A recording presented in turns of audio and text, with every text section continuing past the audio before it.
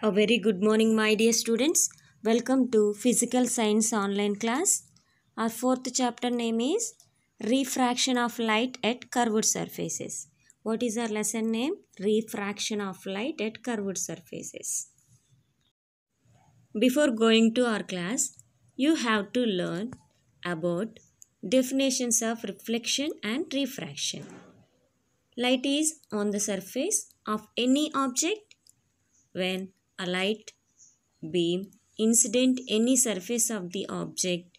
A light part of the light can be reflected by the object. A part of the light can be transmitted that is makes pass through the object and get out from the other side. And part of the light also absorbed by the object. The amount of light reflected absorbed or transmitted depends on the material. That the material is made up of if an object is opaque it will be absorbed and it will reflected most of the light back. If it is transparent more light will be transmitted. Can you take of examples of these two? The surface of the mirror shiny and opaque and most of the light rays reflected from it. On the other hand, glass is an example of transparent object.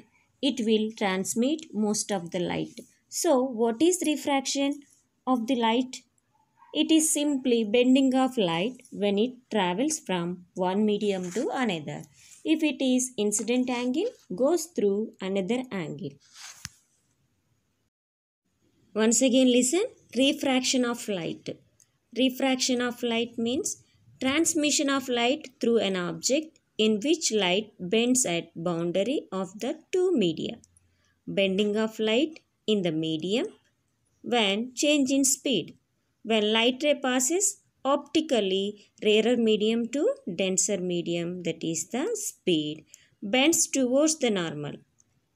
Again when light ray passes optically denser to rarer medium glass to air speed bends away from the normal. This is the rarer to denser medium. Refraction at spherical surfaces. Let a point object O be placed on the principal axis PC. A ray of light starting from O and traveling along the principal axis hits the surface xy normally and passes undeviated. Another rays a light OA incident on the refraction surface at angle I at refracted angle along AI at angle R bending towards normal. The two refracted rays meet at a point I on the principal axis. I is the real image of the object O. From A, draw AM perpendicular to PC. Once again listen, refraction of light at curved surfaces. We have learned about refraction of light at plane surfaces in the previous chapter. Now, let us understand refraction of light at curved surfaces. In the previous class, ninth class, we already discussed that in the plane surfaces.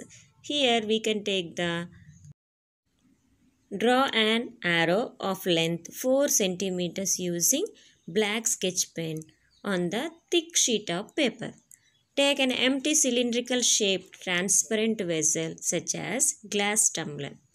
In the first case, in the vessel is empty, light from the arrow refracts at the curved interface, moves through the glass, enters into air. In the second case, light enters the curved surfaces, moves through water, comes out the glass and forms the invert comes out of the glass and forms an inverted image.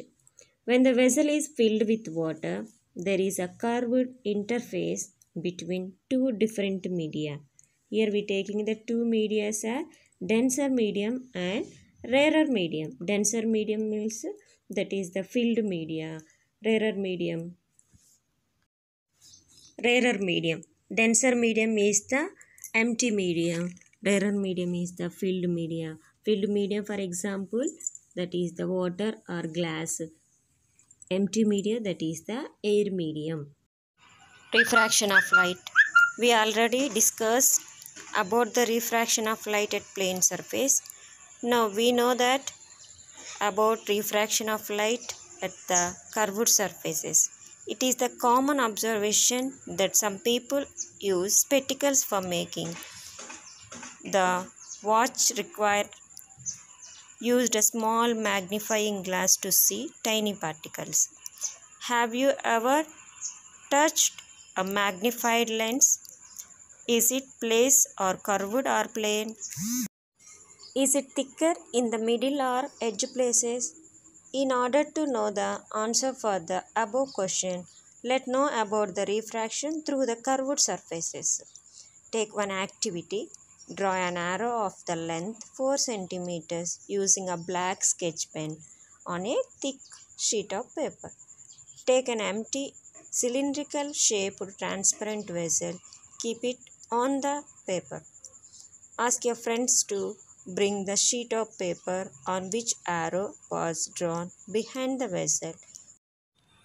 While you look, we will see the diminished image of the arrow. Diminished means very small one. As you look at the arrow from the same position as before, we can observe the inverted image. We filled with water that is the inverted. At the first time, light travels through the two medias, that is glass and air comes out. So it forms then an inverted image. For example, the refractive index of glass, glass and water are the same. The setup of air water separated by the curved surfaces in the figure. What happens when a ray of light incident on the curved surfaces separating the two media. Are the laws of refraction still valid? Let us find out that. Laws of refraction. Consider a curved surface separating two different media. See that one is the normal medium that is the glass medium, one is the one is the air medium. The center of this sphere we can see that that is the capital C. Any line drawn from the center of curvature to a point on the curved surfaces becomes normal to the curved surface at that point. The direction of the normal changes from one point to another point on the curved surfaces. That means the bending of light ray is called the refraction of light. Here, the center of the curved surfaces that is the P. The line that joins the center of curvature and the pole in the curvature is called the principal axis. How do the rays bend when the incident? You already know that in our refraction at a plane surfaces, when a ray of light incident on the interface of going from one medium to another medium that is denser medium to rarer medium v1 to v2 that is the bending of light ray. Or filled media is called the denser medium empty medium is called the rarer medium.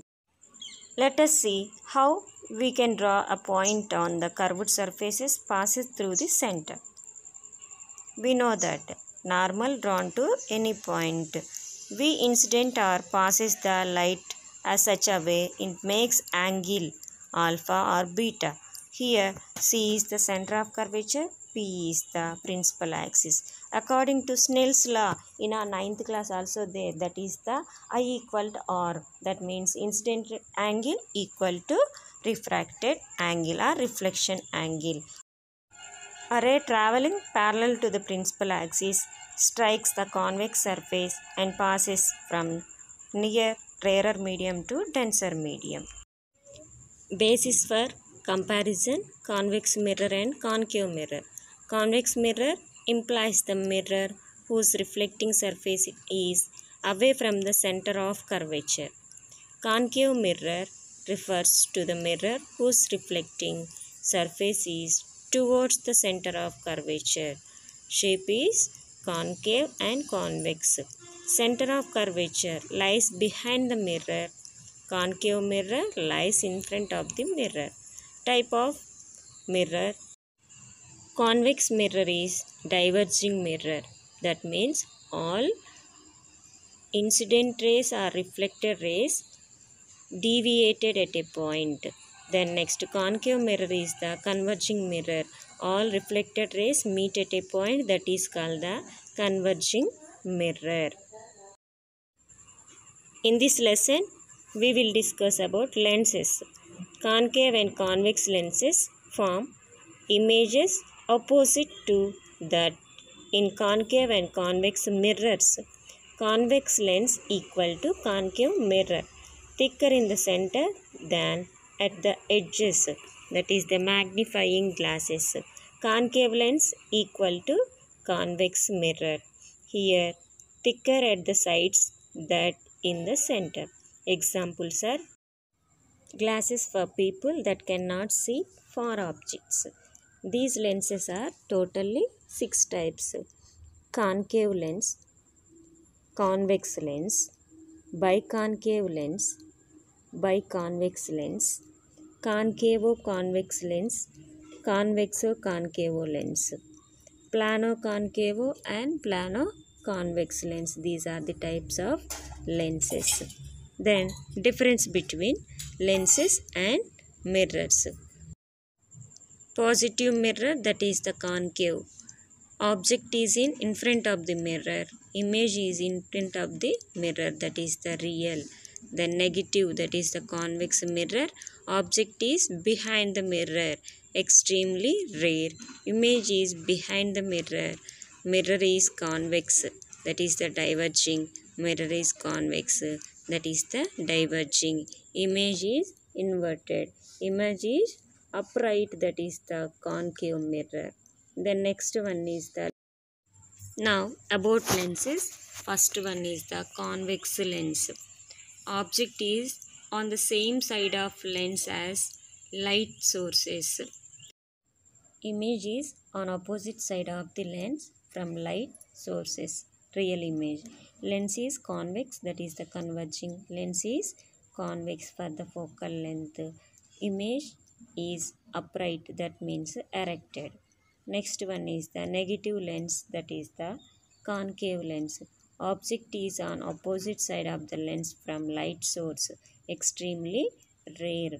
Image is on same side of lenses as light source that is the virtual image. Lens is concave that is the diverging. Here focal length also diverging. Magnifying magnification image is inverted. Refraction of light. Have you observed the path of light when it enters from one medium to another in daily life? Does it move along straight line path or changes its direction? Let us observe some day-to-day -day experiences.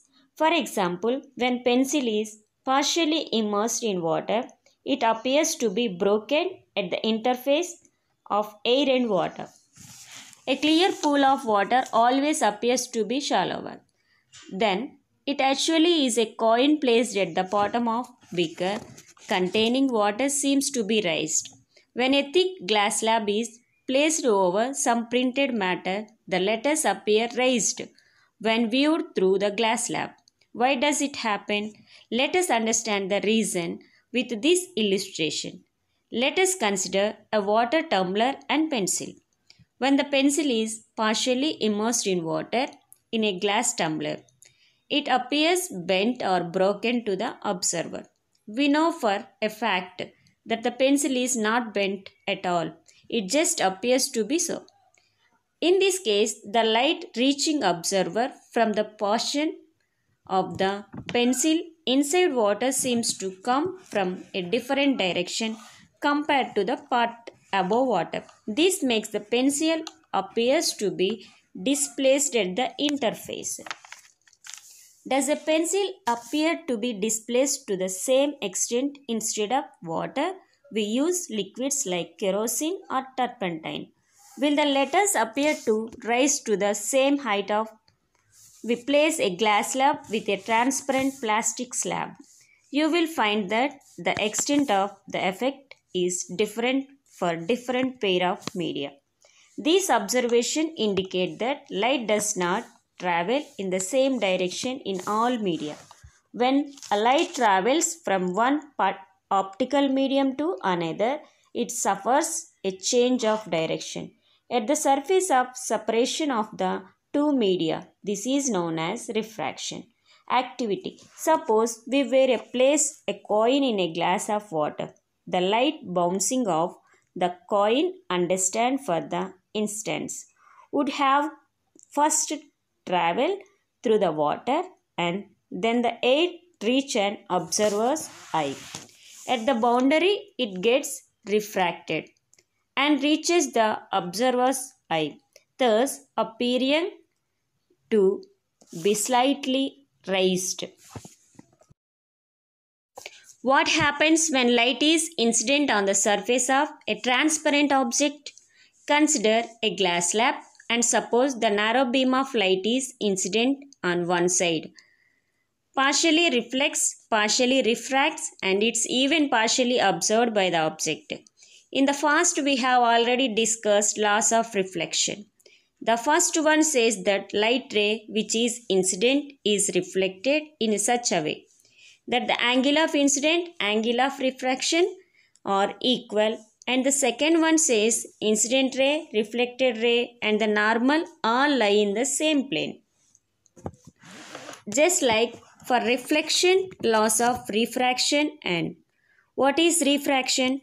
Refraction means change in direction of light as it passes across the boundary separating two media caused by its change in speed. If the refractive medium is optically denser medium compared to incident medium, then the refracted ray will be bent towards normal. It's optically rarer it bend away from the normal. Note that the light ray incident obliquely on the surface when the incident light is perpendicular to the surface. It does not changes its direction. There are two laws of refraction. Among them, first one is the same second law of reflection. Consider light traveling from one medium to another to which is optically denser medium 2. So speed in medium 2 is decreases and it bends towards the normal. The first law of refraction says that the incident ray, refracted ray and the normal at the point of incidence all lie in the same plane. Draw on the piece of paper. They all will be on the plane of paper, not out of the paper. What about the second law, the second law also called Snell's law. The reflection between the incident and refraction angles and the refractive indices of the medium. What is the refractive index of the medium? The extent to which is the refractive medium increases or decreases the speed of light. Mathematically, it is the ratio of speed of light in the incident medium to the speed of light in the refractive medium. It's denoted by n. 2 number is the base other two mediums. n21 equal v1 by v2. We can also define as the extent to which light changes its direction in the refractive medium. Let us discuss the Snell's law in medium. In simple words, it tells that the ratio of sine of the incidence angle equal to the sine of the angle of the refractive. Sin i by sin r equal n21. It is constant for light medium. This is the basic idea of Snell's law. n21 equals speed of light in incident medium by speed of light in refractive medium that equal to v1 by v2. So, we can also say that sin i by sin r equal n21 equal to v1 by v2. We may want to understand the ratio of in terms of the absolute refractive indices of medium. Absolute refractive index is equal to refractive index of the medium with respect to vacuum. For incident, if refractive index of medium is water and it is written like this. So can define the ratio of in terms of n1 and n2. Yes, we can write the ratio of V1 and V2. V1 by V2 equal C v, V2 by C by V1. C is speed of light in vacuum. Simplify the ratio, we will get the value V1 by V2 equal N2 by N1 equal sin I by sin R that equal N2 by N1. So, these are the laws of refraction of light. Refractive index. When light enters from one medium to other, there is a change in its direction of propagation and it appears to bend the extent to which bending of light takes place is expressed in terms of refractive index. Refractive index is a constant obtained from the ratio of the sine of angle of incidence to the sine of angle of refraction. According to the law of refraction, the light incident ray, the refracted ray and the normal at the point of incidence lie in the same plane. For two given media, the ratio of the sine of angle of incident to the sine of angle of refraction is constant. Sine i upon sine r equals n. This law is also known as Snell's law. The constant ratio of sin I and sin R is called refractive index of the second medium with respect to the first medium. The light travels from air to glass, then sin I by sin R that equal NAG, where NAG is the refractive index of glass with respect to air. Refractive index N equal speed of light in vacuum divided by speed of light in the medium. The refractive index of the medium depends on nature of medium, physical conditions, color or wavelength of the light used. The refractive index of the medium is more for violet and less for red light. Normal shift or real and apparent depth. If an object is placed in the denser medium and is viewed from the rarer medium, then due to the refraction of light, it will appear to be at the lesser depth than its real depth.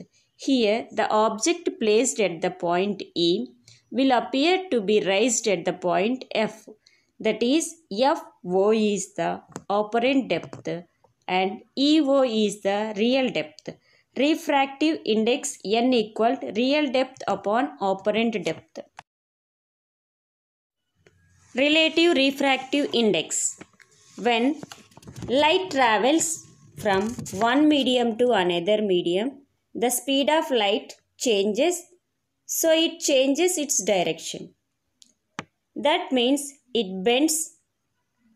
Let speed of light in medium 1 is V1.